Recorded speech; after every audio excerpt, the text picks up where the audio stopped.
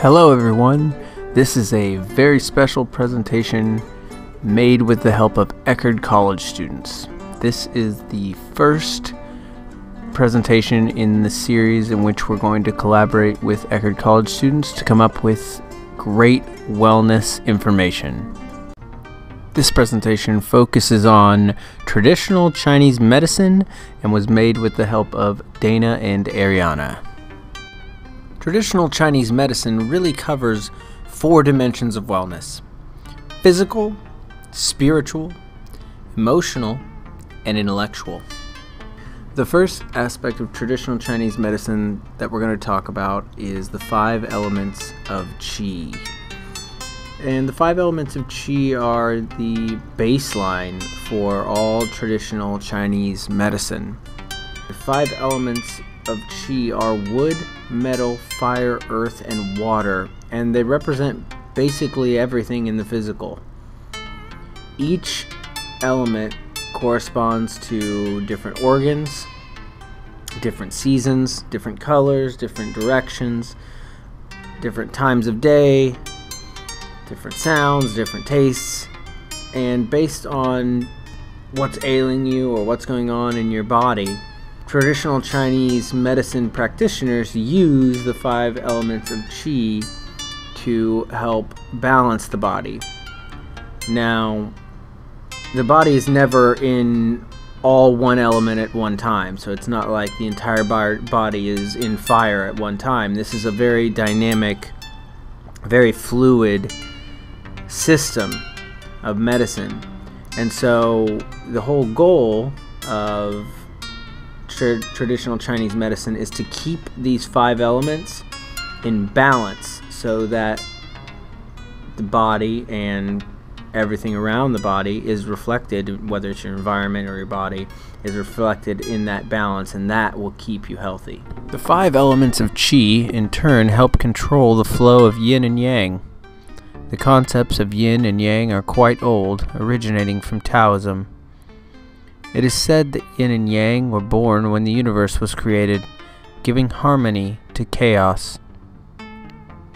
Yin and yang must always be in balance for optimal health of any system, just like the five elements must be balanced. Yin represents things like femininity, passive, night, weakness, and provides spirituality. Yang represents things like masculinity, active, day, strength, and it provides form. No representation of yin or yang should be judged as better than another. Instead, they are opposites that complement each other.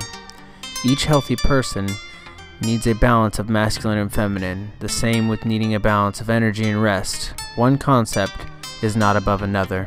In traditional Chinese medicine, the human body has seven chakras. The word chakra has its origins from the word Sanskrit, which means wheel or disc in Hindi. These round balls of energy points can be found inside an individual's body. They represent the organs, nerves, and emotional and physical well being of a person. The seven chakras are the root chakra. This is in the tailbone area.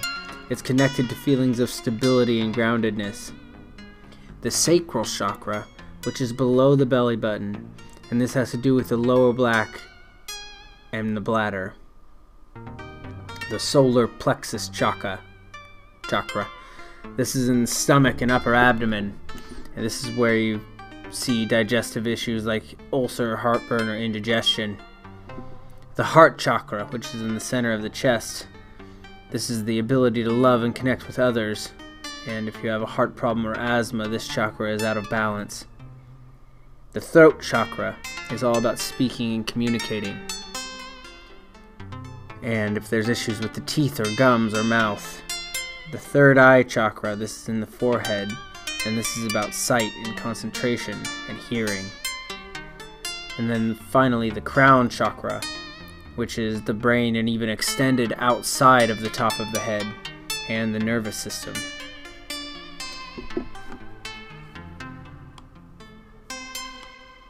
Many people may associate the seven chakras with meditation, and this is one way to help heal the body using the seven chakras. But in addition, traditional Chinese medicine practitioners may use crystals, food, and even sounds, or a combination, to be able to clear these chakras and bring healing to the body. Traditional Chinese medicine can be found in many present day examples. One of the most popular is acupuncture. This is where an acupuncturist uses needles to ease chronic muscle and joint pain. In China, this is still used as one of the most common remedies for problems dealing with headaches. It's pretty common in the West as well now to use this to relieve muscle tension, spasms, and sometimes to even help with nervous system issues.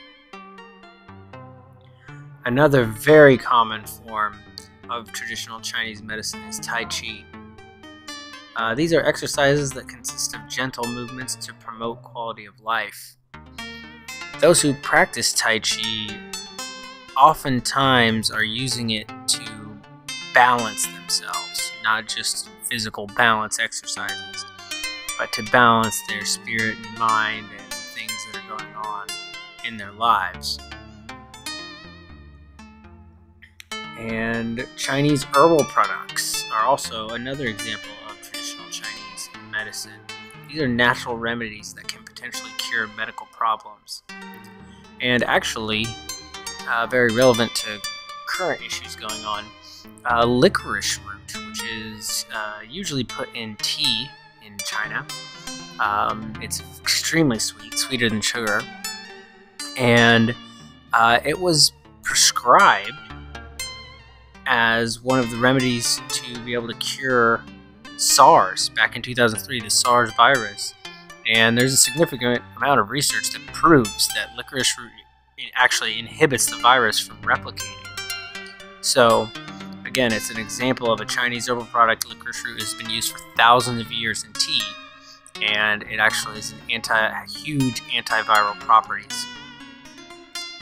Uh, in addition, much of today's traditional Chinese medicine has been proven to treat fibromyalgia, ease joint pain, and even help with cardiac rehabilitation. Most of those people who are practicing traditional Chinese medicine don't necessarily believe in the religious aspect, but they are still able to utilize the benefits for promoting a healthy mind and body. There are some concerns uh, about the potential loss of traditional Chinese medicine. Science based medicine oftentimes looks down on things like traditional Chinese medicine, believe that it's antiquated, non scientific, and based on superstition. And additionally, uh, time is one of the values, variables that goes into traditional Chinese medicine. You need time to balance yourself, right? You can't go get acupuncture done in five minutes and it, you all of a sudden are balanced, right? It's not like an ibuprofen that you take. Increased busyness of life uh, prevents people from doing things like that or even preparing herbal tea. It takes a long time. So this wraps up our presentation on traditional Chinese medicine. Again, I want to thank Dana and Ariana, and if you'd like to see the, her, their notes, they are also posted on my W Life. Thanks. Bye.